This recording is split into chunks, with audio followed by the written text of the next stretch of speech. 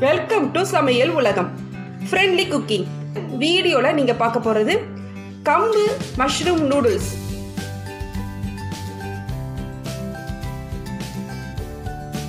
கம்பு நூடுல்ஸ் செய்கிறதுக்கு தேவையான பொருட்கள் கம்பு நூடுல்ஸ் ஒரு பாக்கெட் மஷ்ரூம் இரநூறு கிராம் பொடியாக நறுக்கிய தக்காளி இரண்டு பொடியாக நறுக்கிய வெங்காயம்.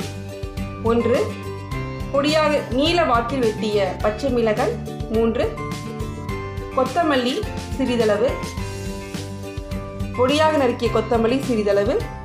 இது வந்து noodles masala noodles masala one tablespoon புதினா பொடியாக நறுக்கியது.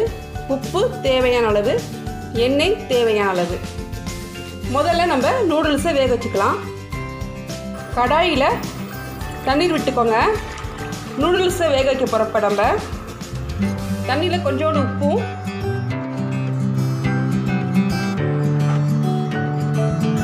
எண்ணெயும் சேர்த்துக்கோங்க. ஒன் டீஸ்பூன் எண்ணெய் விட்டுருக்கேன். தண்ணி நல்லா கொதிக்க தொடங்குது. இப்போ நம்ம நூடுல்ஸை போடலாம். நூடுல்ஸ் நல்லா வெந்திருக்கா பார்க்குறதுக்கு நூடுல்ஸ் ஒரு பீஸ் எடுத்து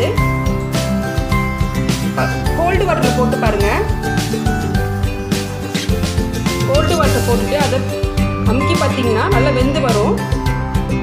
பாருங்க வெந்திருக்கு. இப்போ நம்ம இது எல்லாத்தையும் எடுத்து கோல்டு வாட்டரில் போட்டுக்கலாம்.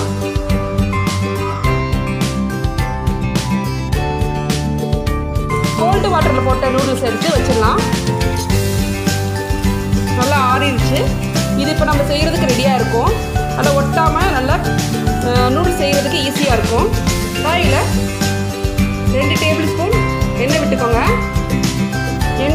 பிறகு பூண்டு நீலவாக்கில் வெட்டிய பச்சை மிளகாய் இங்கே பொடியாக நறுக்கி வெங்காயம்.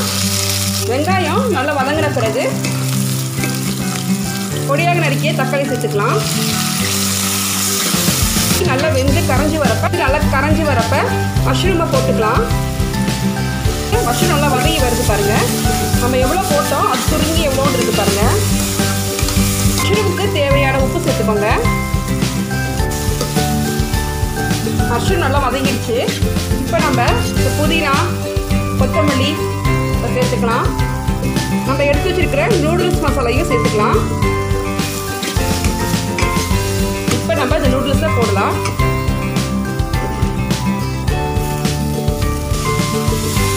அடியோடு நல்லா கிளறி விடுங்க.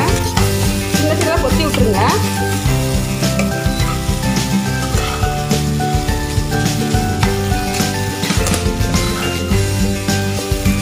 மஷ்ரூம் கம்போன் நூடுல்ஸ் ரெடி ஆயிடுச்சு. இப்போ ஸ்டவ் ஆஃப் பண்ணிக்கலாம்.